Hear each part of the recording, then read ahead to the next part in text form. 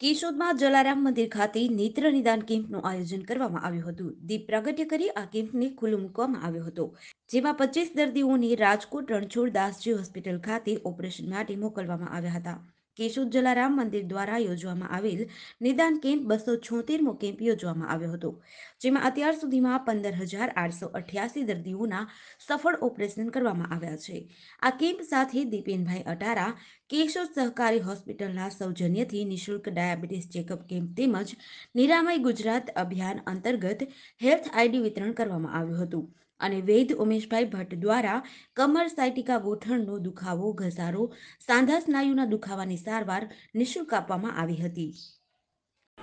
કેશોદ શહેર એટલે સેવાનું એક ધામ.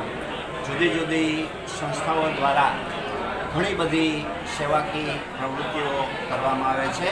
એમાંનું એક એટલે જલારામ મંદિર. આ જલારામ મંદિરની અંદર અનેક વિવિધ સેવાકીય પ્રવૃત્તિઓ કરવામાં આવે છે. જેની અંદર આઈ કેમ્પ પહેલાં અને ત્રીજા રવિવારે અવશ્ય રાખવામાં આવે છે. અને આ આઈ કેમ્પની અંદર આજુબાજુના જુદા જુદા ગામોની અંદરથી લોકો આવે છે, મોતિયાના ઓપરેશન માટે જાય છે. અને અત્યાર સુધીમાં આ રીતે લગભગ બસો ને સિત્તોતેર જેટલા કેમ્પ અત્રે કરવામાં આવ્યા છે. લગભગ એક દાયકા ઉપરથી આ કેમ્પની પ્રવૃત્તિઓ ચાલે છે. જેની અંદર સોળ હજારની આસપાસના દર્દીઓને સફળ ઓપરેશન દ્વારા એક નવી દ્રષ્ટિ જલારામ મંદિર દ્વારા આપવામાં આવી છે.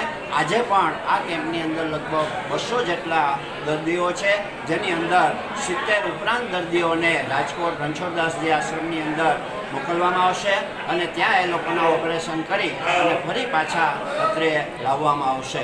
આજ, આજરોજ જે અમારા જુદા જુદા દાતા હોય છે, એની અંદર ભોજન દાતા તરીકે અમારા રજાભાઈ પીઠિયા જે બામણવાડાના રહીશ છે અને બારડોલીની અંદર સર્વિસ કરે છે, એમના તરફથી આજના ભોજન દાદા તરીકેની સંપૂર્ણ જવાબદારી એમણે સ્વીકારેલી છે. Thank you thank you very much જય જલારામ. જીડીસી ન્યૂઝ સાથે નરેશ રાવલિયા કેશોદ.